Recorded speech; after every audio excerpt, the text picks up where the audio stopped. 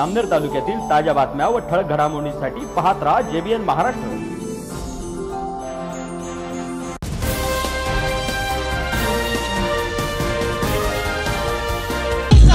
विधानसभा निवडणूक दोन हजार चोवीस साठीचे नामनिर्देशन पत्र आज दाखल करणार आहे? त्यासाठी आज महाविकास आघाडीच्या वतीने या ठिकाणी भव्य प्रमाणात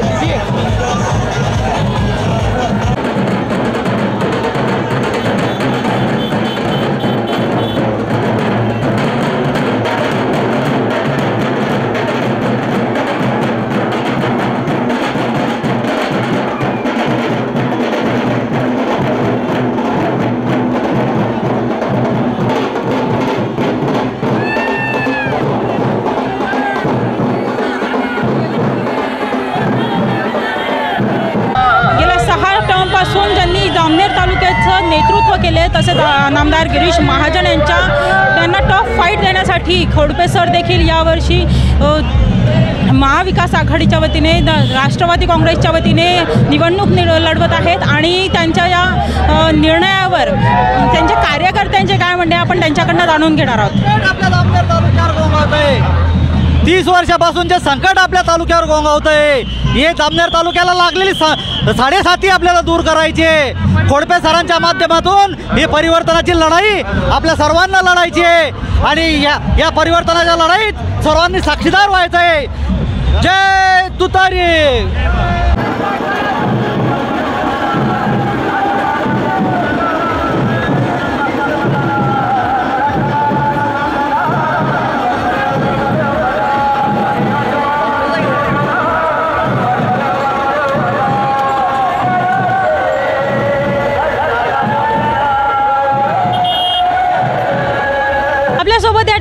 या खोडपे सरांबद्दलचे जे समर्थक आहेत ते या ठिकाणी आहेत.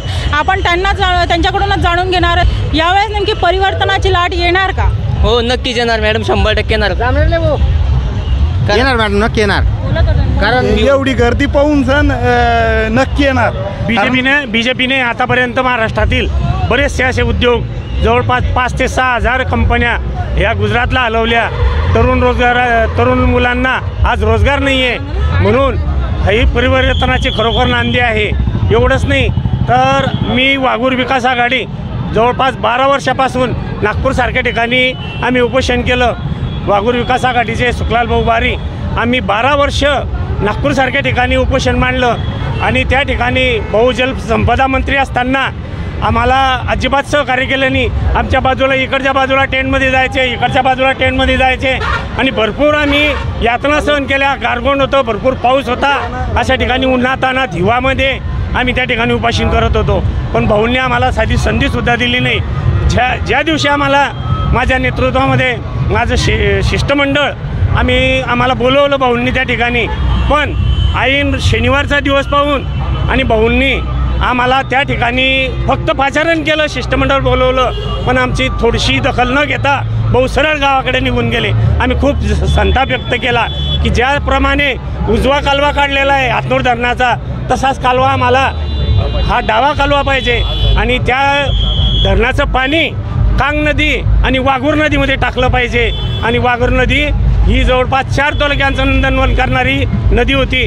आणि या नद्या जर बारा महिने वाहिल्या तर शेतकऱ्यांचं फार भलं होणार होतं आणि नंदनवन होणार होतं. पण यांना शेतकऱ्यांचं भलं पाहायचंच नाही आहे आम्हाला तुम्हाला जरी आता वाटत असलं की हे युती आमची जवळपास बारा वर्ष अगोदर होते. आमच्यामध्ये राष्ट्रवादीचे लोक होते आमच्यामध्ये शिवसेनेचे लोक होते काँग्रेसचे लोक होते. आम्ही हे त्यावेळेसच ओळखलं होतं. की हे युती केल्याशिवाय हे जमणार नाही आणि यांना काहीतरी धडा शिकवल्याशिवाय जम राहणार नाही. त्या दिवशी आम्हाला अटक केली. आम्हाला बळजबरीने गाडीत कोंबलं आणि अटक करून आमचं उ उपोषण उधळून लावलं. ज्याप्रमाणे जरांगे दादांचं उपोषण उधळून लावलं त्याचप्रमाणे आमचं बारा वर्षाच्या अगोदर जवळपास आठ ते दहा वर्षाच्या अगोदर आमचं उपोषण अशाच पद्धतीने यांनी उधळून लावलं होतं. आणि आम्हाला अटक केली होती नागपूरसारख्या ठिकाणी.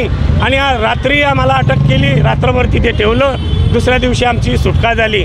म्हणून आम्ही खोडपे सरांच्या समर्थनार्थ या ठिकाणी राष्ट्रवादीला शरदचंद्र पवार गटाच्या बाजूने एवढी जे परिवर्तनाची नांदी आहे आम्ही खरोखर त्यांना मतदान देऊ आणि पुढे काढू आणि पन्नास हजाराच्या निर्णय निवडून आणून दाखवू असा आम्ही चंक बांधला आहे. हे आपण बघू शकत आहात फार मोठ्या प्रमाणामध्ये शक्ती प्रदर्शन रॅली ही काढण्यात आलेली आहे. अगदी डीजेच्या तालावर नाचत थिरकत या ठिकाणी हे कार्यकर्ते खोडपे सरांना समर्थनार्थ या रॅलीमध्ये सहभागी झालेले आपल्याला दिसत आहेत. आपण या ठिकाणी या कार्यकर्त्यांकडनं जाणून घेणार आहोत त्यांच्या नेमक्या काय प्रतिक्रिया आहेत त्यांना काय नेमकं जामनेर तालुक्याचा पुढचा आमदार कोण? या कार्यकर्त्यांचे काय मत हे आपण त्यांच्याकडनं जाणून घेणार आहोत.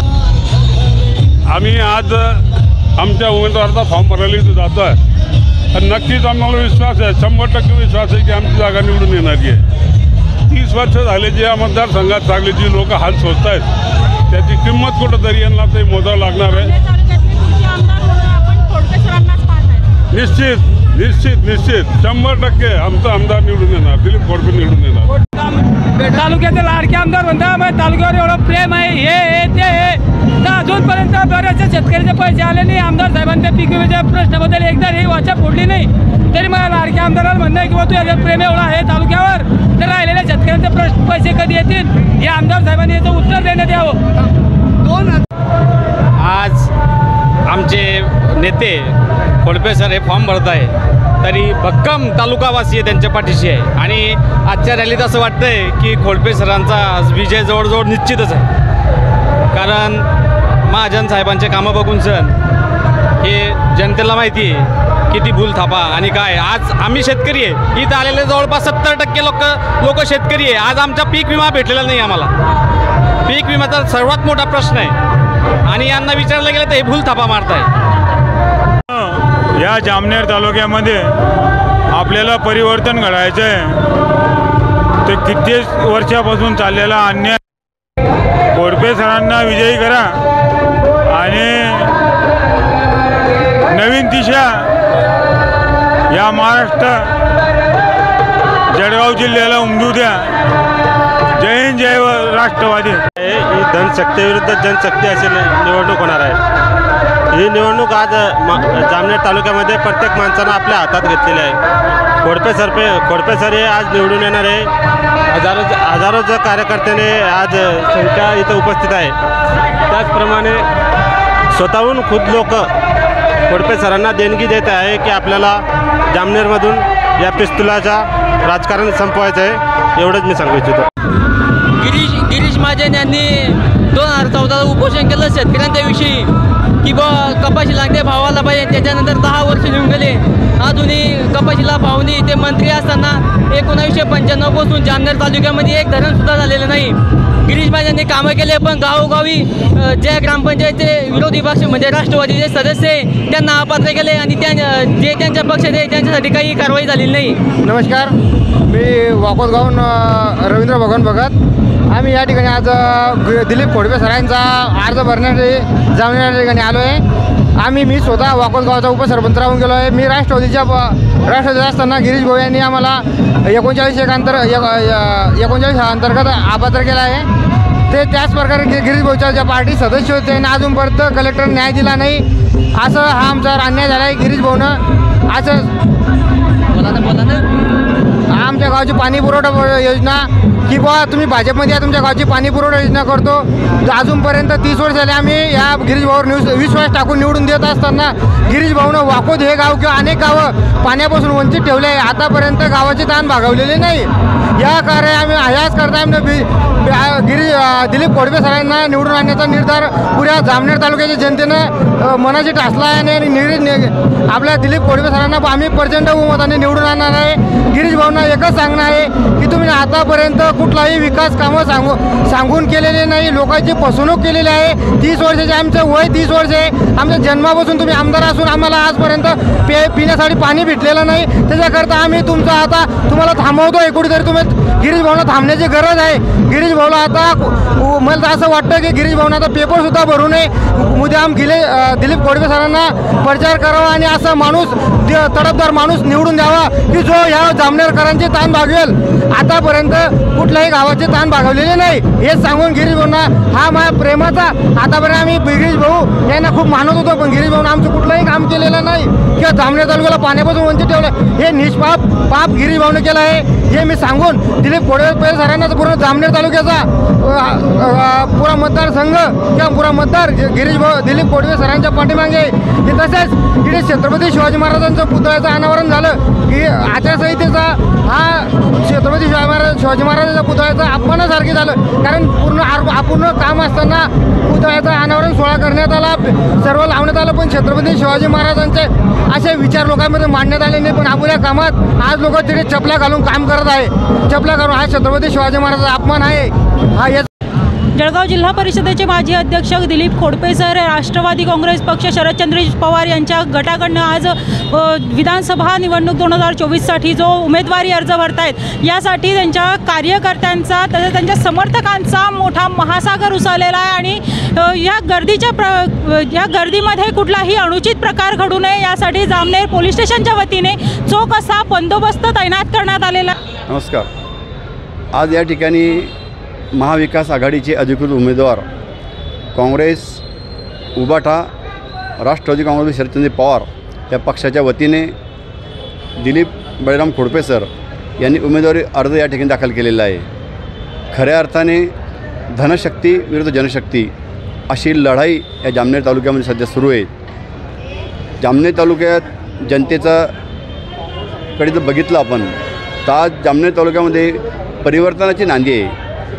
जनतेला या तालुक्यामध्ये तीस वर्षापासून जे समस्या आहेत खऱ्या अर्थानं शेतकऱ्याची पाणी समस्या असेल तरुणांना बेरोजगारीची प्रश्न समस्या असेल शिक्षणाची समस्या असेल आरोग्याची समस्या असेल प्रचंड समस्या या तालुक्यामध्ये आहेत. तीस वर्षापासून जनता या समस्या न सुटल्यामुळे आत्ता या जामनेर तालुक्यामध्ये परिवर्तन झालं पाहिजे ही अपेक्षा हे या धोरणाने जनता या या ठिकाणी पेटून उठलेली आहे.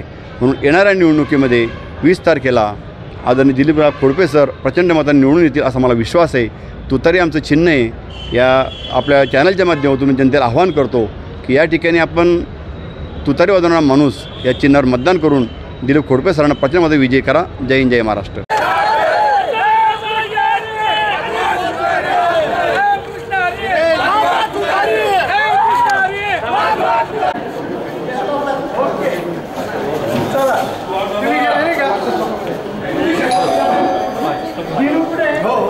टायमिंगसाठी ॲडजस्टमेंट झालं तिकडे तुझी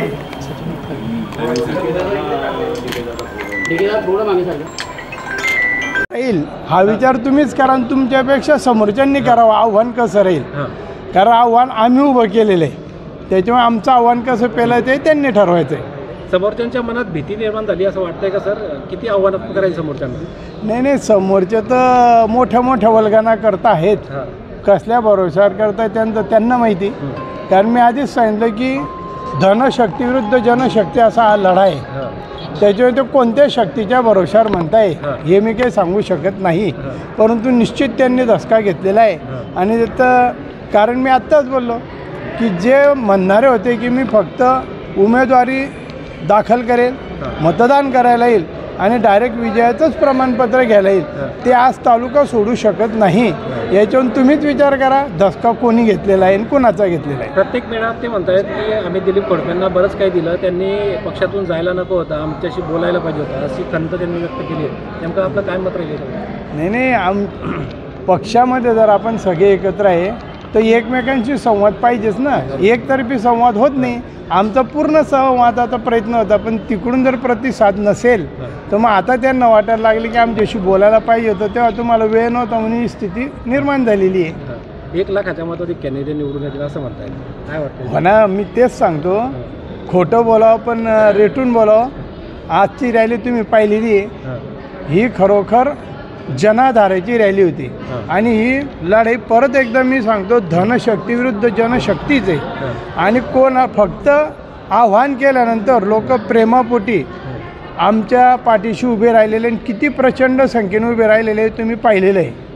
आणि त्यामुळे किती म- मताधिक्य ते किती म्हणू पण मी निश्चित खात्रीने सांगतो की हे उलटं झालेलं तुम्हाला दिसेल मताधिक्य जळगाव जिल्हा परिषदेचे माजी अध्यक्ष दिलीप खोडपे यांनी महाविकास आघाडीच्या वतीने आज या ठिकाणी तहसील कार्यालय या ठिकाणी नामनिर्देशन पत्र सादर केलेलं आहे.